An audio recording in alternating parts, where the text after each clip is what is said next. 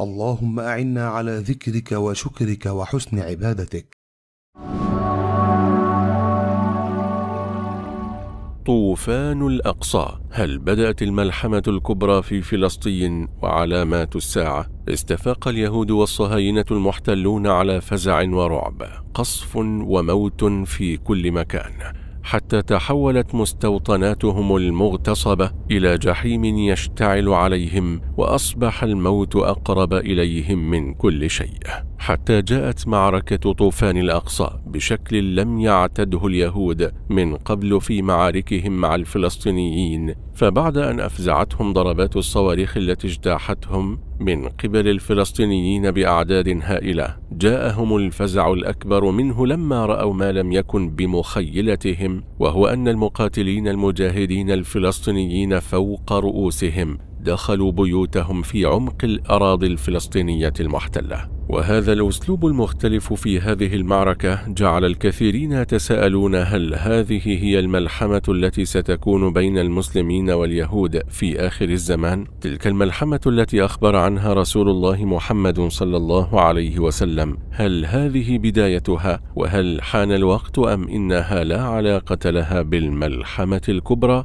هذا ما سنعرفه اليوم إن شاء الله ولكن في البداية ندعوكم مشاهدينا الكرام إلى الاشتراك في القناة وتسجيل إعجابكم بالفيديو ليصلكم كل جديد منا إن شاء الله تعالى. إن يوم القيامة آت ولا شك إلا إن موعد قدومه لا يعلمه إلا الله سبحانه وتعالى. فلم يعط رب العالمين علمه لأحد من خلقه ولا حتى الأنبياء والمرسلين. قال الله سبحانه وتعالى أعوذ بالله من الشيطان الرجيم. بسم الله الرحمن الرحيم. يسألونك عن الساعة أيان مرساها؟ قل انما علمها عند ربي لا يجليها لوقتها الا هو ثقلت في السماوات والارض لا تاتيكم الا بغته يسالونك كانك حفي عنها قل انما علمها عند الله قل انما علمها عند الله ولكن أكثر الناس لا يعلمون. فلا يعلم احد وقت الساعة. ولكن رسول الله محمدا صلى الله عليه وسلم أخبر بالكثير من العلامات التي تأتي قبل قيام الساعة، فلا تقوم الساعة قبل قدومها وتحققها، وقد أخفى الله سبحانه وتعالى وقت قيام الساعة ليكون الابتلاء والاختبار ويتميز المحسن من المسيء الطائع من العاصي الكافر من المؤمن وليكون العباد دوما على حذر من أمرها. فيجتهد في فعل الصالحات ويحرص على مزيد من القرب من رب الأرض والسماوات. قال الله سبحانه وتعالى في محكم كتابه في سورة طه إن الساعة آتية أكاد أخفيها لتجزى كل نفس بما تسعى. وعلامات الساعة منها العلامات الكبرى ومنها العلامات الصغرى. وقد ظهر الكثير من العلامات الصغرى التي تدل على قرب قيام الساعة ومنها تطاول الحفاة العراة رعاء الشاء في البنيان وكثرة الشح والبخل بين الناس وكذلك قلة العلم وكثرة الجهل وفشو المعاصي وظهور المعاصي والمخالفات والكبائر في البلدان كل هذا من علامات الساعة المنتشرة. كذلك كثرة القتال وكثرة الفتن من أشراط الساعة. كل هذا بينه النبي محمد صلى الله عليه وسلم. وكذا من العلامات الصغرى التي ظهرت كثرة النساء وقلة الرجال فهي من علامات الساعة. وعلامات الساعة الكبرى معدودة لم يظهر منها شيء تقريبا ولكنها إذا ظهرت تتابعت كخرزات العقد تأتي بعضها خلف بعض. ومنها ما يأتي كعلامة لقرب قيام الساعة. ومنها ما يكون إيذانا بوقوع الساعة وحلولها وأن الأمر قد حان. وأخبر النبي محمد صلى الله عليه وسلم عن الملحمة الكبرى والمعركة العظيمة التي تكون بين المسلمين واليهود في آخر الزمان والتي يقتل فيها المسلمون اليهود مقتلة عظيمة وينتصرون عليهم بإذن الله. ويقود المسلمين في هذه المعركة المسيح ابن مريم عليه السلام بعد أن ينزله الله عز وجل من السماء ويحكم بشريعة الإسلام ويكسر الصليب ويقتل الخنزير ولا يقبل الجزية بل لا يرضى إلا بالإسلام. وهذه المعركة من علامات الساعة كما أخبر النبي صلى الله عليه وسلم. روى مسلم في صحيحه عن أبي هريرة رضي الله عنه أن رسول الله صلى الله عليه وسلم قال لا تقوم الساعة حتى يقاتل المسلمون اليهود فيقتلهم المسلمون حتى يختبئ اليهودي من وراء الحجر والشجر. فيقول الحجر أو الشجر يا مسلم يا عبد الله هذا يهودي خلفي فتعال فاقتله إلا الغرقد. فإنه من شجر اليهود.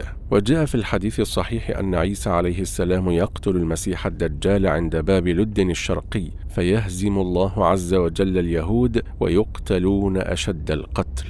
فلا تبقى حينها دابة ولا شجرة ولا حجر يتوارى خلفه يهودي إلا انطق الله ذلك الشيء فيقول يا عبد الله المسلم هنا يهودي تعال فاقتله. إلا الغرقد فإنه لا ينطق لأنه من شجر اليهود.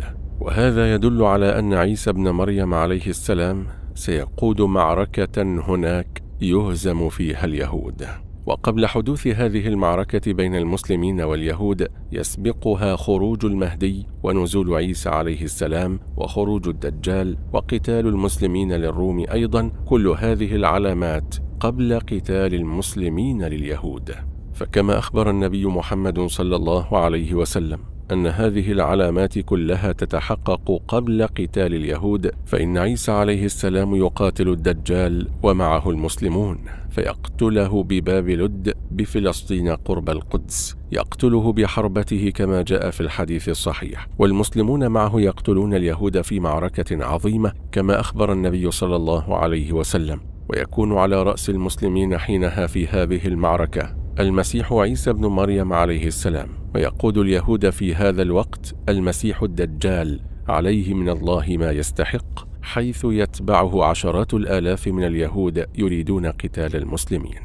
جاء في صحيح مسلم رحمه الله من حديث أنس رضي الله عنه أن رسول الله صلى الله عليه وسلم قال يتبع الدجال من يهود أصفهان أو أصبهان سبعون الفا عليهم الطيالسة. وبعد ذلك ينزل المسيح عيسى بن مريم عليه السلام ويجتمع معه المسلمون لقتال الدجال وأتباعه. فان ما يحدث في فلسطين الآن ليس هو المعركة التي أخبر عنها رسول الله صلى الله عليه وسلم. وإن كانت هذه الأحداث هي بمثابة تمهيد وإعداد لما يحدث قبل قيام الساعة. اللهم يا ذا القوة المتين انصر إخواننا في فلسطين. اللهم انصر دينك وكتابك وسنة نبيك وعبادك المجاهدين في فلسطين. كلهم يا ربنا وليا ونصيرا وردءا وظهيرا وكالئا وكافيا ومعينا وانصرهم يا ربنا نصرا مبينا. اللهم فك حصارهم وتول أمرهم وأجمع شملهم وقو بأسهم